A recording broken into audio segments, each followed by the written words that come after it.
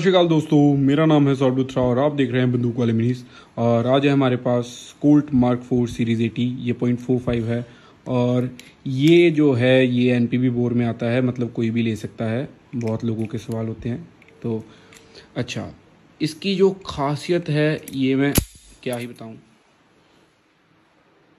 मतलब ये चीज़ जो है, बहुत ही कंपेटेबल है ग्रिप बहुत शानदार है, और सबसे बड़ी बात इसकी गोली जो है, वो बहुत सस्ती है।